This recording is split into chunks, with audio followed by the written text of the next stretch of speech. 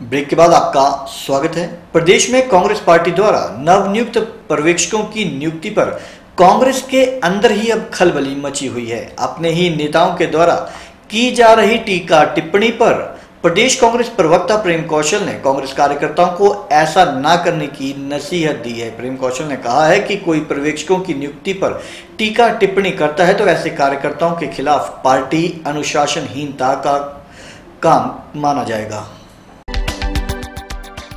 प्रदेश में कांग्रेस के नवनियुक्त पर्यवेक्षकों की नियुक्ति पर कांग्रेस के अंदर मची खलबली और अपने ही नेताओं के द्वारा की जा रही टीका टिप्पणी पर प्रदेश कांग्रेस प्रवक्ता प्रेम कौशल ने कांग्रेस कार्यकर्ताओं को ऐसा न करने की नसीहत दी है। प्रेम कौशल ने कहा कि कोई पर्यवेक्षकों की नियुक्ति पर टीका टिप्पणी करता है तो ऐसे कार्यकर्ताओं के खिलाफ अनुशासनात्मक कार्रवाई की जा सकती है। कौशल ने यह भी कहा कि आने वाले समय में कांग्रेस में अनुशासनहीनता कतई सहन नहीं की जाएगी और मिशन 2022 को लेकर कांग्रेस एकजुट हो चुकी है। प्रदेश प्रवक्ता प्रेम कौशल ने कहा कि कांग्रेस प्रदेश अध्यक्ष कुलदीप राठौर के द्वारा पर्यवेक्षकों की नियुक्ति प्रदेश में की गई है और अगर कोई इन नियुक्तियों पर उंगली उठाता है तो ऐसा करना अनुशासनहीनता माना जाएगा। कौशल ने कहा कि कांग्रेस का मिशन 2022 है और इसके लिए कांग्रेस एकजुटता से आगे बढ़ रही है।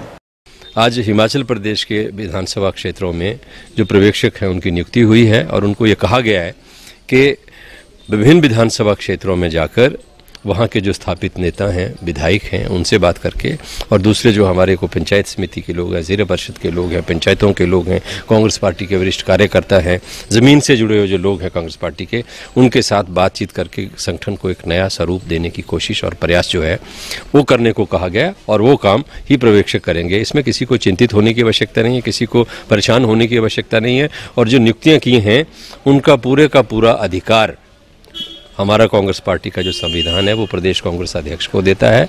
उसी अधिकार का इस्तेमाल करते हुए उन्होंने नियुक्तियाँ की हैं और निश्चित तौर पर नियुक्तियों से पूर्व पार्टी की जो आला कमान है, उसके साथ विचार विमर्श भी किया है। उनकी पार्टी आला कमान की जानकारी में है, ये जो कदम है हमारे प्रदेश कांग्रेस अध्यक्ष का। तो और इस विषय में अगर कोई कांग्रेस का कार्यकर्ता, कांग्रेस का कोई नेता समाचार पत्रों के माध्यम से कोई नेगेटिव बयानबाजी करता है उसको अनुशासनहीनता माना जाएगा और पार्टी में किसी भी स्तर पर अनुशासनहीनता बर्दाश्त नहीं की जाएगी। आज आवश्यकता इस चीज़ की है। लोकसभा चुनावों के नतीजे जो हैं बड़े आश्चर्यजनक रहे हैं, आश्चर्यचकित करने वाले रहे हैं। 2022 अब हमारा लक्ष्य है हिमाचल प्रदेश के अंदर कांग्रेस की सरकार बने। इस दिशा में कांग्रेस पार्टी को काम करना है और इसके लिए ज़मीन से लेकर जो कार्यकर्ता है, उससे लेकर सभी जो नेता हैं हर स्तर पर, उन सबको आपस में एक तालमेल स्थापित करके एक दूसरे का सम्मान करते हुए काम करना पड़ेगा। तभी हम इस लक्ष्य को हासिल कर पाएँगे।